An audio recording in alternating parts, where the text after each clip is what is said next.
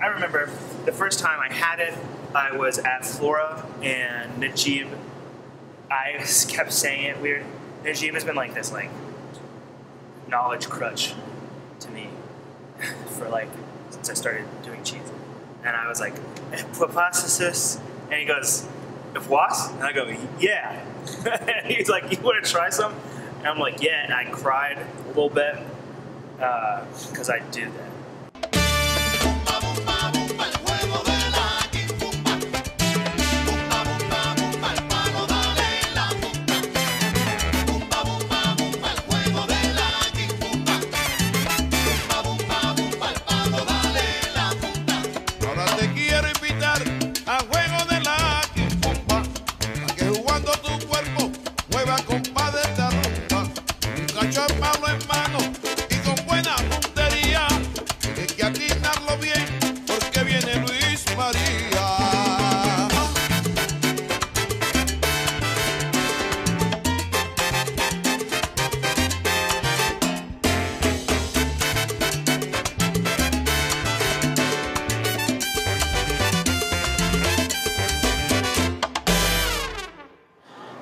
Name is Danny Schutte. My name is Josh Franklin. Uh, my name is Najib Shuoff, um, and a cheesemonger is really someone who helps you pick out cheese.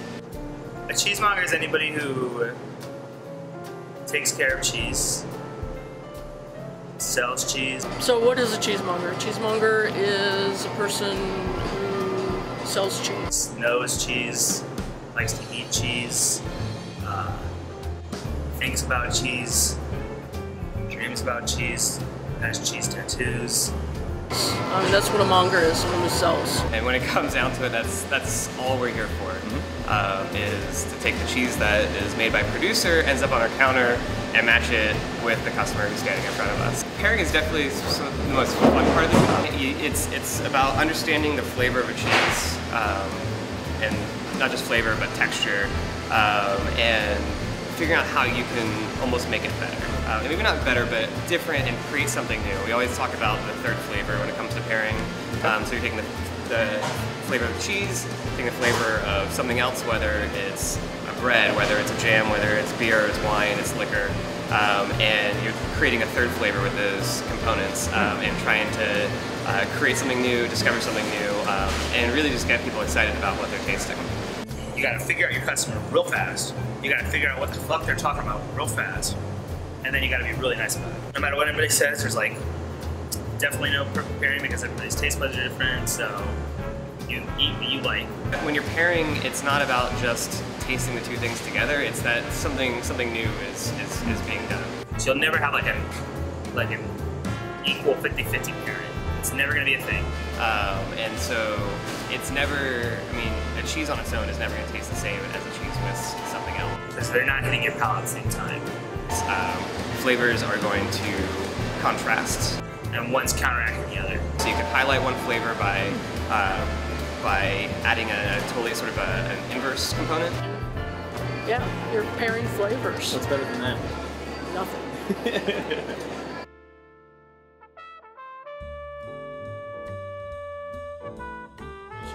There's usually about six months of intense studying just prior to the test tas- taking. But you need to have 10,000 service hours in the industry to even qualify for the exam. Sat for the CCP exam, um, 2013. Did I already say what that stands for? Certified Cheese Professional? Certified Cheese Yeah, it's just CCP. Uh, through Whole Foods is how I was able to do that because it's, a, it's an expensive um, proposition. It's a very hard test. It's 150 questions. It's run by the American Cheese Society. I think that they thought that the term cheesemonger ended up being used really like too loosely. To take the test, we had to study breeds of animals, milk composition, cheese making process, affinage, selling aspects, pairing aspects. So we had to understand the whole spectrum. uh, because it runs the whole gauntlet, like from the soil to your plate, essentially, to your mouth. Um, and it's the same thing with like the sommelier exam. Um, they just it just concentrates in, in, on those questions even harder. because specialty cheese had grown to, to such a state until you dug into a relationship with a monger behind the counter. You had no way to kind of judge the value of someone's knowledge. So it's, it's like a mix of science, math, um, and just extensive cheese knowledge, where cheeses are from, how they're made, what they're made with, why they're unique. There'll be another level at it. That's just my suspicion. I don't I don't know that for sure. That they're working on it. Okay. Um, and I think that I think that is an important thing. There was like a advanced CCP and a master CCP. Um, like it would be so cool to be able to try and study for that as if it were a sommelier exam. That's gonna fill fill a need in this industry. Think of cheese as following along behind wine. And where you see wine grow, cheese is going to grow.